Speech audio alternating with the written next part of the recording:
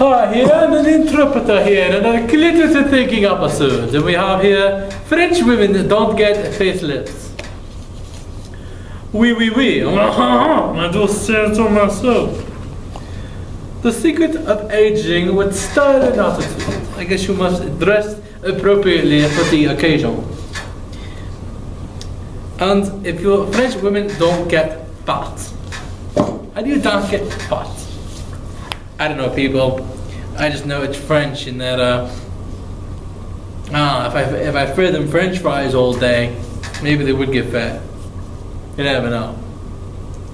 So, but it's kind of interesting that it has delightful, encouraging on feeling your best at any age. So she offers a lot of inspiration on health, skincare, and food, and humor, facelifts, all kinds of beauty and lifestyle secrets. It's kind of interesting. oh, look at it, it's got recipes in here. You know how to recipes in here? It's a recipe book. Shouldn't it be a food for thought? it's got recipes.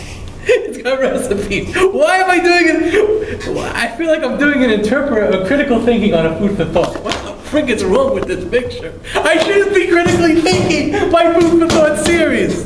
That is something wrong. We don't intermingle series like this. Come on, people. Where's the snacker? Damn it. I feel like I'm talking to myself here, like I'm the interpreter here. Hi, I'm I'm, I'm hi, I'm I'm the snacker here. So what do you think about this topic? I don't know. It's uh, something I should think about. Well, I know it's got recipes in here, so I guess the food part comes into it.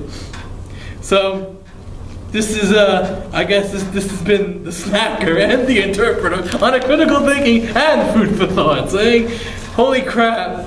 Why is there food mentioned in this place?